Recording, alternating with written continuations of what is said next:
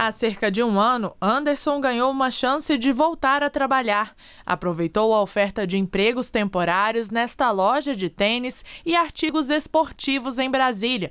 Agarrou a oportunidade, mostrou um bom trabalho e acabou contratado como vendedor. Teve outra oportunidade em dezembro de 2016 aqui, né, como temporário.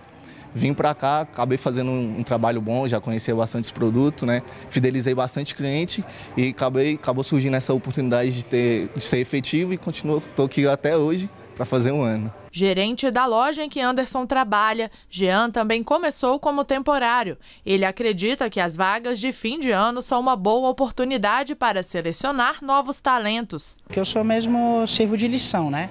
É, sempre eu tenho a visão de que um freelancer ele pode continuar e também para outros cargos, tanto para um estoquista ou também para um caixa. Então sempre eu vou nessa, nessa visão. O quadro de inflação baixa, juros em queda e retomada gradual do emprego e da confiança das famílias está gerando uma expectativa de aumento da oferta de empregos temporários no Natal deste ano. A expectativa da Confederação Nacional do Comércio de Bens, Serviços e Turismo é de que mais de 73 mil pessoas sejam contratadas no período do Natal, um aumento de 10% em relação ao ano anterior.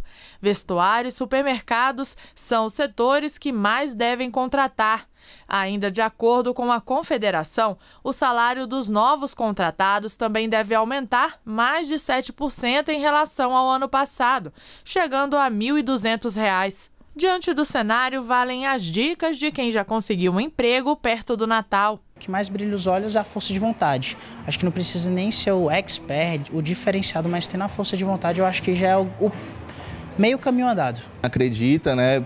Dá seu máximo no trabalho que as vagas surgem, né? E a oportunidade está aí para ser abraçada, né?